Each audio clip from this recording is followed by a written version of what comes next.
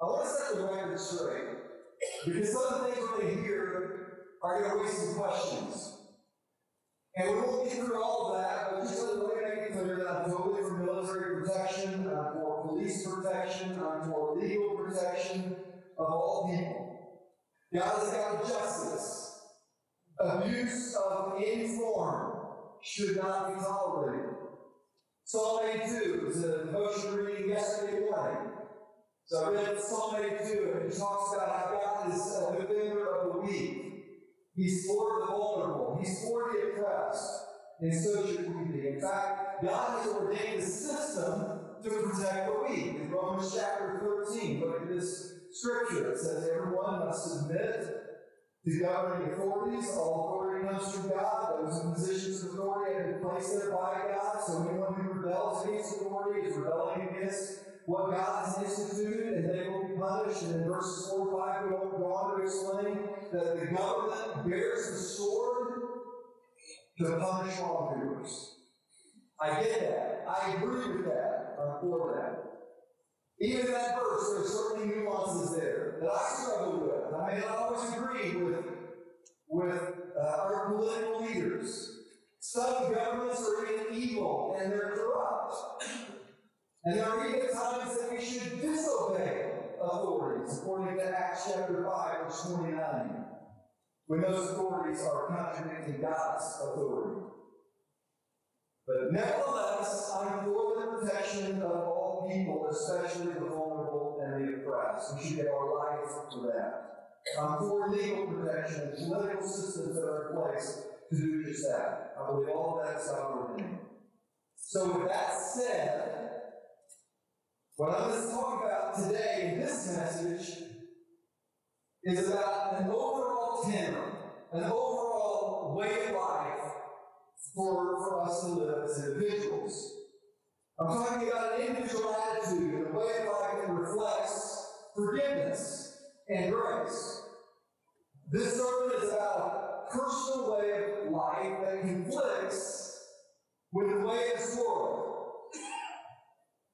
We're quick to gravitate in this world towards rights and retaliation. This is not right. I have every right to fight with this and retaliate. That comes natural for us. And we neglect, because of that, a very different way of life in the Scriptures and modeled our text on Christ Himself. So, with that in mind, let's read Mark chapter 14, verses 43 through 52. Just as he was speaking, Judas, one of twelve, appeared. With them was a crowd armed with swords and clubs, sent from the chief priests, the teachers of the law, and the elders. Now the betrayer had arranged a signal with them. The one I kiss is the man. Arrest him and lead him away to guard. Guard, uh, going at once to Jesus, Judas said, Rabbi, and kissed him. The man seized Jesus and arrested him. Then one of those standing near drew his sword and struck the servant of the high priest, cutting off his ear. My leading rebellion, said Jesus, that you have come out with swords and clubs to capture me. Every day I was with you, teaching in the temple courts, and you did not arrest me, but the scripture must be fulfilled. Then everyone deserted him and fled. A young man, and tradition says that this young man is Mark himself, the author of this book.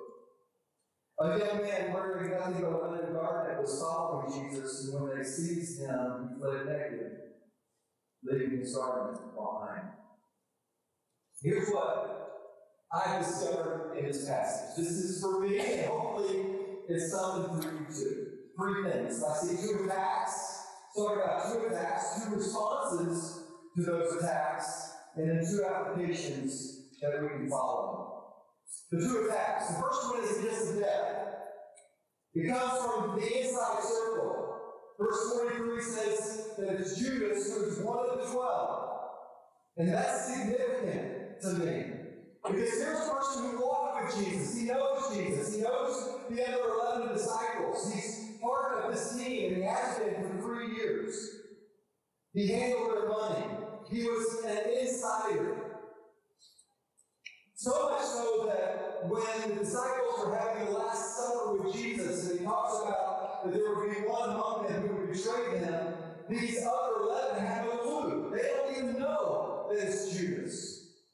Which says something about we to really take note of that. We can be a follower of Jesus, but not be a follower of Jesus.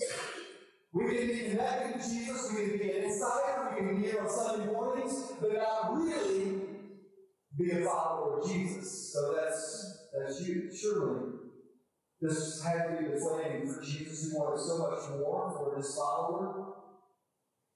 And now he's betrayed by this one who's on the inside. Maybe you've been betrayed in this way.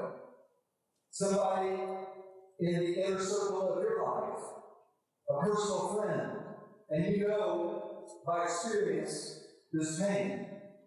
Somebody that you're close to stabs you in the back, and it's painful, and you don't understand that, it leaves you to bewildered. The Psalms talk about this. Psalm 41, verse 9, for example, you, my close friend, someone I trusted, one who shared my bread, has now turned against me.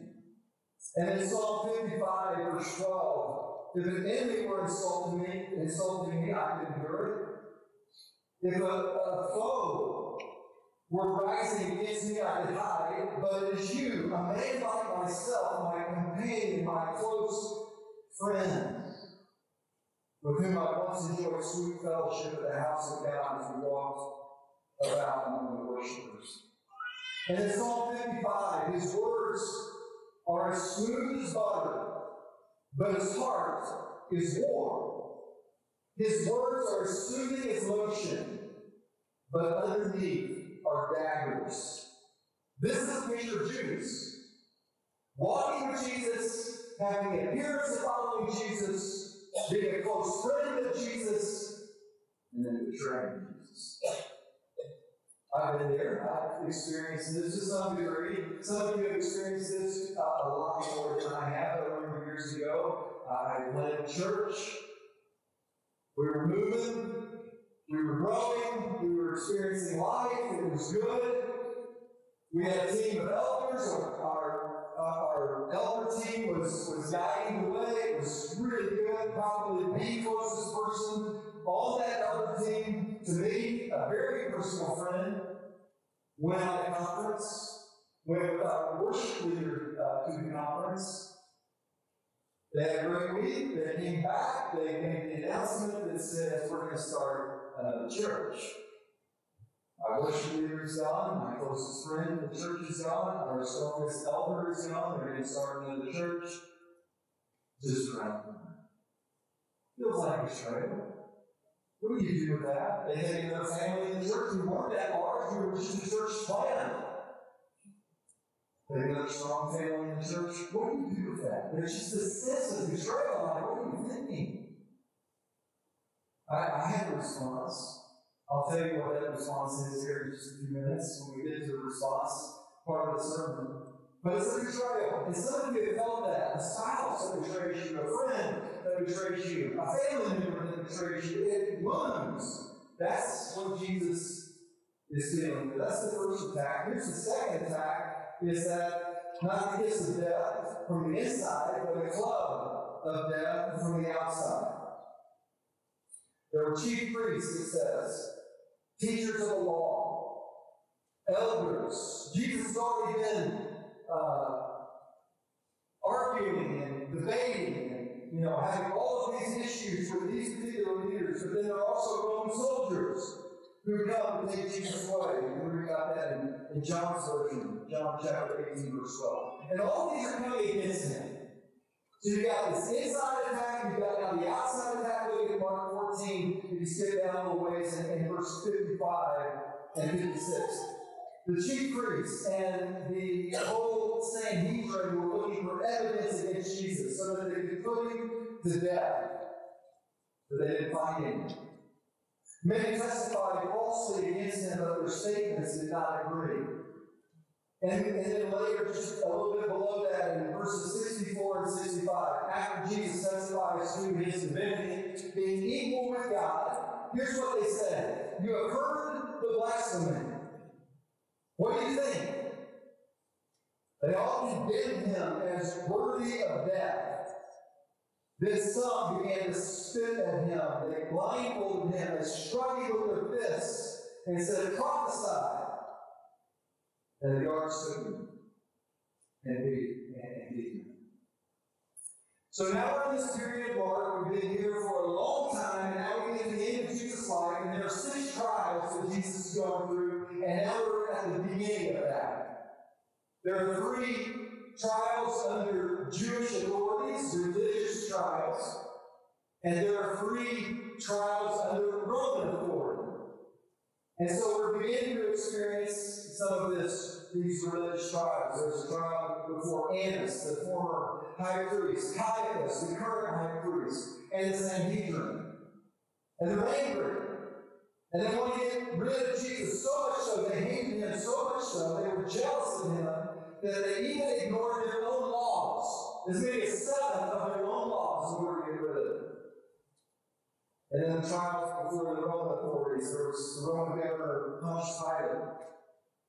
It says in John chapter 18. And he goes before Herod, and he's mocked and he's ridiculed there. And he comes back to Pontius Pilate, who orders Jesus to be flogged and be executed. And all those charges to be very different than, than religious charges. So he was charged with inciting people not to riot, forbidding the people to pay their taxes, and claiming to be their king. In the end, in my study, it says that the trials of Jesus represent the ultimate mockery of justice. Jesus, the most innocent man in the history of the world, was found guilty, according to them, of crimes and sentenced to death by crucifixion. You got an inside attack, you got the outside attack, and we can relate to both. There are times where things happen to you and come from the outside that you feel like are so deserving, and you don't get it, you don't understand it, and it's an attack against your life. I can remember uh, years ago. I shared this before, but uh, one night, late at night, we're laying in bed, um, asleep or close to sleep, and and all of a sudden, it, it sounds like gunshots against the side of our home, right next to our bedroom window. And I pop out of bed and have no idea what's going on, only to discover that eggs are being launched at our house. There was a situation that came up that we brought to light. The people that were affected by that did not like it. And late at night, that uh, a bunch of these young men found their way to our and he started launching eggs. There were some threats that came as well. Uh, with that, we thought we knew exactly what that was, but there was just a sense of, of wrath. Uh, this is wrong. It's an attack. We don't deserve this. And I wanted very much to, to get that settled and get it right. And so I remember, I think it happened twice.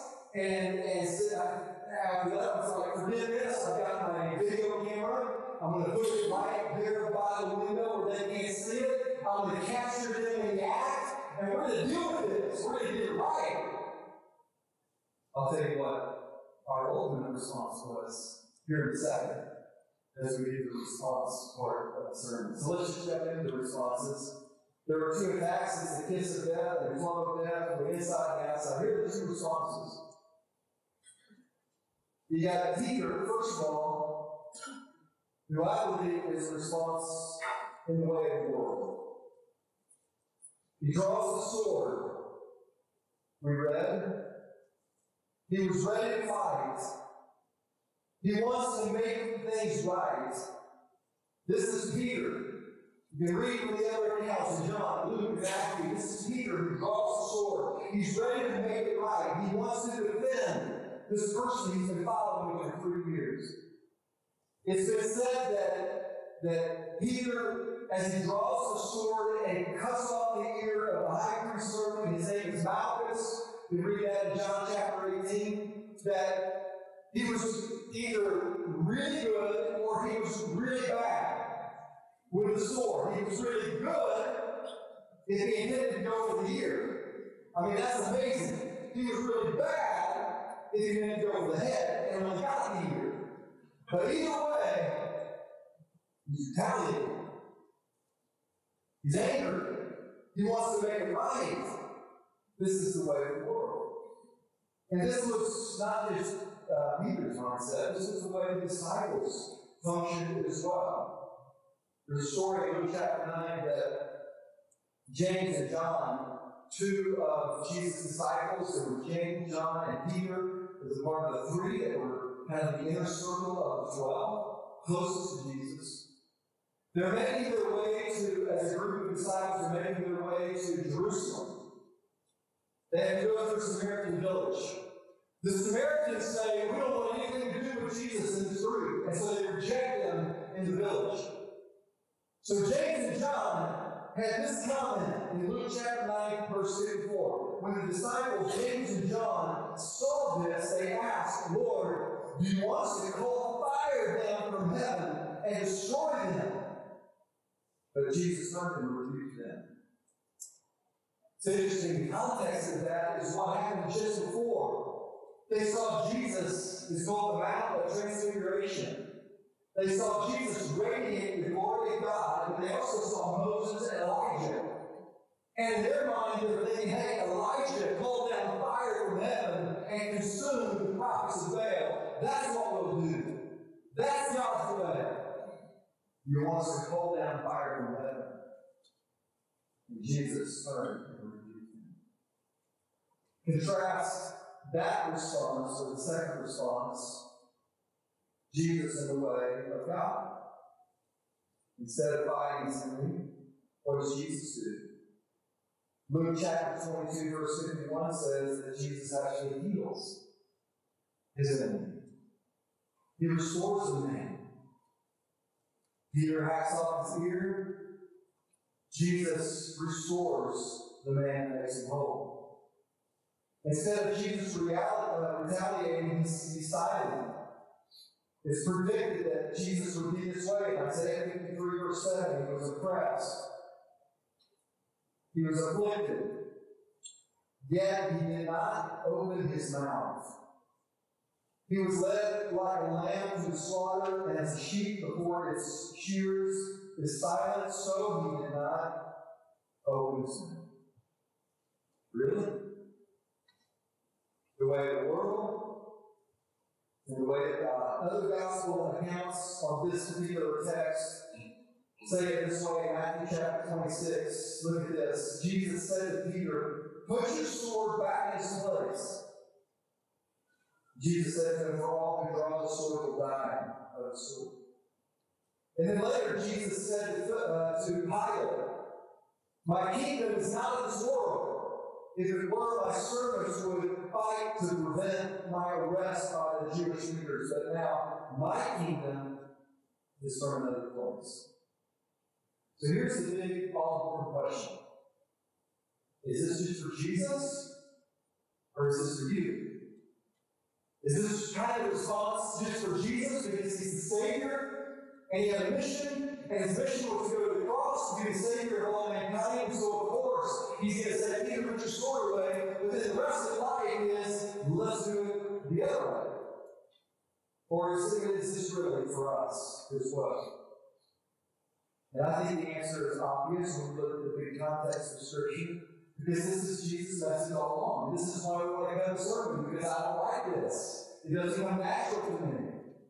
But Jesus has already said in Matthew chapter 5, verse 38, you've heard that it was said, an eye for an eye, tooth for tooth. But I say to you, do not resist the one who is evil. But if anyone slaps you on the right cheek, turn to him the other also. Wow. And then Matthew chapter 5, blessed are you when others revile you and persecute you and utter all kinds of evil against you falsely on my account. Rejoice and be glad, for your rewards ready in heaven. Now don't retaliate. Don't try to even. Rejoice. Be glad. So let me just give you my responses here from the two examples I already gave. The church plant experience. It was frustrating. was hurt. I felt wounded. I felt betrayed. I called my mentor. But the I, I believe it was in France. I can't remember exactly, but I called him and I said, This is what's happening. And I explained the situation. And you know what his response was? He said, What an awesome opportunity as a young church that you plant another church in your community. And I wanted to say, wait a second, well, let me explain this again what happened. This is my closest friend. This isn't personal loyalty. This is my worship leader. This is another family in the church. They're going to start the church around the corner. Pray for them. Call them before your church. And say, look what God is doing. We could plant and launch another church. And that's what we did. Or how about the of guys that launched eggs at our home? I'm ready to get even. Amy reads the scripture like the next day, Romans chapter 12. Look at these scriptures, Romans chapter 12, verse 17. Repay no one for evil, evil for evil. Give thought to what is honorable sight of all, possible, as far as it depends on you, live peaceably with all. Never think yourselves, leave the wrath of God. For it is written, Vengeance is mine, I will repay, says the Lord. To the contrary, if your enemy is hungry, feed. If he's thirsty, give him something to drink. For by doing so, you will heap burning coals on his head, and not overcome evil. Not be overcome by evil, but overcome evil with good.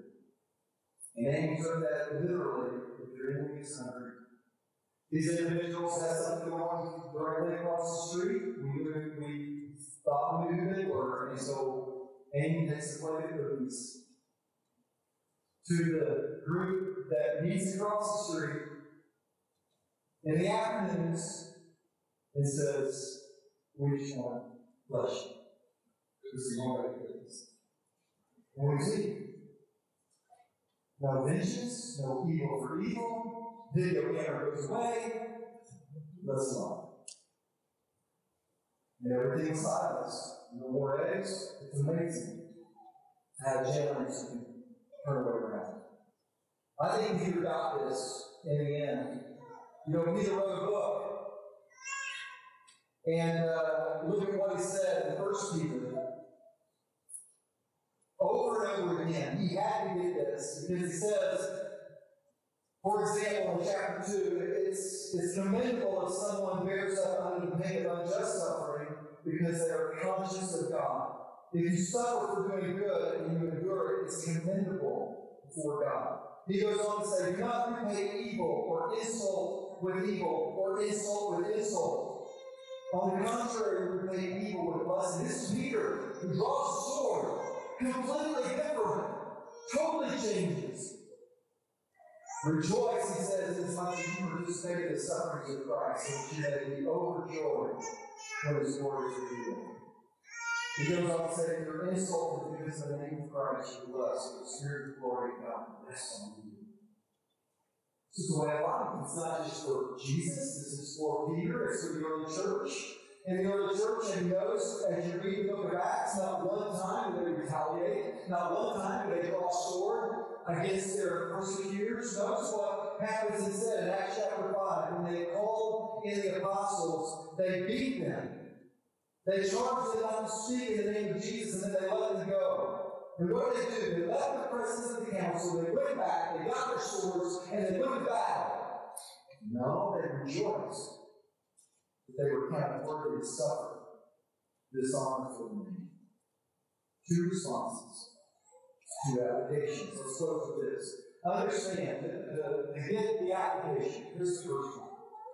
As I think we have to understand the greater context here and receive what has been given us. Jesus' suffering came not by the sword of Rome,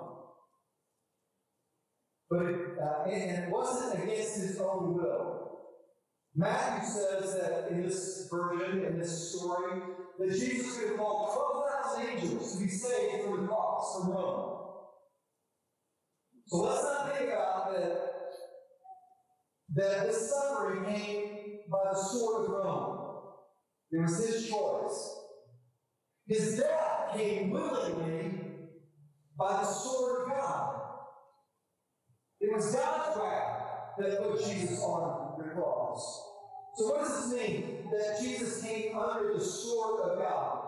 Just real quickly, let's go back to Genesis chapter 3. The very beginning of the story of creation, when Adam and Eve sinned.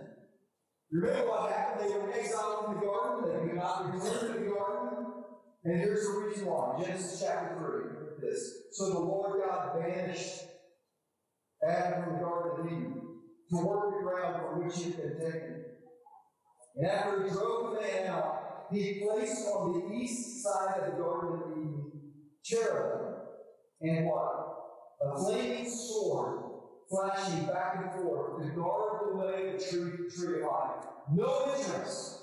This sword that flashes back and forth, there's no way back in. And the cross is Jesus going underneath the sword of God's wrath that we deserve as sinners, but that Jesus took for us, so that we can return back into the garden and have intimate fellowship with God that we were missing. 300 years ago, here's how Jonathan Edwards put it. Look at this, it should be on the screen. Christ undertook God's wrath to lead us to the tree of life. And he went before us. Christ himself was slain by that flaming sword. And this sword, having slain the Son of God, appearing in our name, there was a person of infinite worthiness. That sword did full execution in that. And when it had been shed, and when it had shed the blood of Christ, it had done all its work. And Christ, arising from the dead, being the divine person himself, went before us. And now the sword is removed, having done its execution. Already having nothing more to do there, having slain Christ. There is no sword now, and the way is open and clear to eternal life for those that are in Christ. So, so first application is that Jesus endured his attackers so that he could make payment for our sin and get us back into the garden of fellowship with God. That's the first application. Receive it. Accept it. It's a gift. We get back into the garden, this is a beautiful thing. Here's the last application. Understand the smaller context, which is hugely important still by dying to self and loving your enemy. In Luke chapter 9, Jesus predicted this is exactly what was going to happen. Look at this. It says, The Son of Man must suffer many things and be rejected by the elders. Well, here they are. We just saw this the chief priests and the teachers of the law. And he must be killed on the and then on the third day he raised alive. And then, and then that's not the end of the story. He said to his disciples, Whoever wants to be my disciple must do the same thing. You must do deny yourself, take up your cross daily, and follow me. Whoever wants to save their life, living by the sword, will lose it. But whoever loses their life for me will save it. So what does that mean practically? Well, it means that we do for others, especially, especially our enemies, in response to what Jesus did for us when we were enemies of God. What did he do? He loved us. And so he told us in Matthew chapter 5, it says, Love your enemies. Pray for those who persecute you, that you may be sons of your Father who is in heaven. For he makes the sun rise on the evil and on the good, and sends rain on the just and the unjust, because that is God's nature. He loves all people. And how do you get the gumption to love in this way? What's the motivation for this? Well, in Luke chapter 7, it says that he who has been forgiven little loves little. But he who has been forgiven much loves much. And when we recognize that we were enemies of God, Romans chapter 5 and 8, we deserve the wrath of God, while we were still sinners, Christ died for us. And we do the same. While they're enemies, while they're sinners, just as we are, we do the same that Jesus did. And we love in the way that Jesus loved us because he's loved us. Let's pray together. Father, thank you for this truth. That you love us and you still love us. We've been reconciled as children of God and we trust what you did for us on the cross and through your resurrection. But the truth is, is that we still battle you. We still fight you. And how do we know we fight you? Because we fight your creation. We fight people that you have made and people that you love. So, Lord, I pray that you would change our hearts, that we would embrace the fullness of your love, not just to enjoy, but so that we can love others the same way that you loved us. Help us to see how much we've loved. Help us to see how much we are loved so that we can love in the same way. In Jesus' name.